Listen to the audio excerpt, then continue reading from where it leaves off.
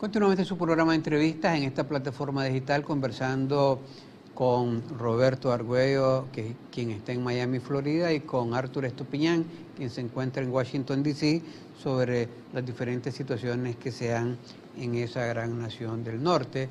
Y nos íbamos a lo que es particularmente el nuevo, el comportamiento del secretario de Estado, Blinken. Hay vía don Roberto, incluso eh, discutiendo con un congresista, creo que era, ¿verdad? Vía Twitter, ¿verdad? Diciéndole, porque él criticaba la posición del secretario de Estado por anteriores acciones cuando fue miembro de la administración Obama y don Roberto le decía, ve, no, no, Blinken va a actuar conforme, creo que lo que son estos nuevos tiempos.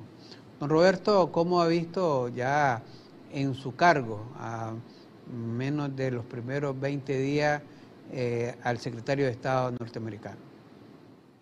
Emilio, lo que tú te refieres es un Twitter que yo puse ayer.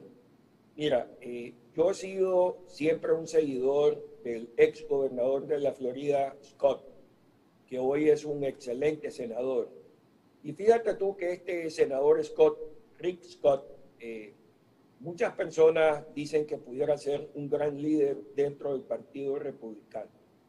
Día de ayer sí eh, vi de que había puesto un Twitter diciendo que él había sido uno de 15 senadores que había votado en contra de Blinken. Y entonces yo le puse un Twitter diciéndole, senador, usted sabe que yo he sido de sus primeros y siempre seré su seguidor y admirador y siempre lo he apoyado a él. Pero le quiero decir que eh, Anthony Blinken, en mi opinión, va a ser un excelente secretario de Estado. Y déjame decirte que el día de ayer el senador Menéndez tuvo un Zoom con múltiples amigos y aunque no puedo dar todos los detalles del Zoom, eh, lo que sí dijo el senador Menéndez es de que Anthony Blinken va a ser un extraordinario secretario de Estado, quien tiene una labor eh, muy importante. Eh, ahí veo que está poniendo al senador Menéndez y yo te voy a hablar del senador Menéndez, porque es una persona muy especial.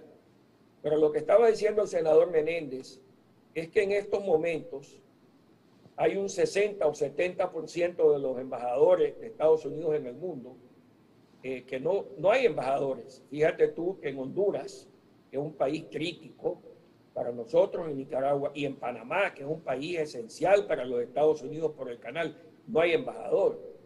En estos momentos los embajadores de El Salvador, americanos en El Salvador y Nicaragua se van también, se van en Dominicana. ¿verdad? Entonces, una prioridad enorme de Blinken va a ser restablecer el servicio diplomático de los Estados Unidos. Te recuerdo que en el pasado el 30% de los embajadores son amigos de los presidentes o son personas que han ayudado al partido, pero el otro 70% son embajadores de carrera. ¿Verdad? Que eso es muy importante porque yo soy de la opinión que una democracia necesita una buena burocracia. ¿Verdad? Se necesitan burócratas dentro del partido, dentro del partido, dentro del Estado. ¿Verdad? Eh, ahora, déjame hablarte un poquito del senador Menéndez. Yo lo conozco a él desde que él es congresista y llegó a mi casa varias veces y le he venido siguiendo su carrera, ¿verdad? Y es un senador de primera, ¿verdad? Ya ha sido chairman del Comité de Relaciones Exteriores y ahora vuelve a ser chairman.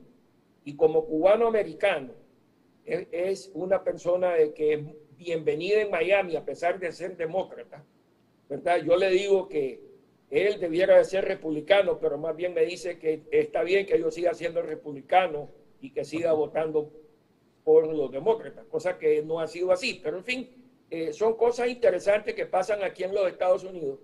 Y sé, eh, Plinio, de que en estos momentos vienen elecciones en Nicaragua como vienen elecciones en Honduras. Y esa es una preocupación del Senado porque se espera que las elecciones en ambos países sean transparentes y que la oposición pueda competir de forma correcta. ¿verdad? Lo otro es que Arthur tocó un punto muy importante Y es de que tú puedes tener un senador que tenga muy buenas eh, ideas y que quisiera implementar muchas cosas, pero no hay equipo.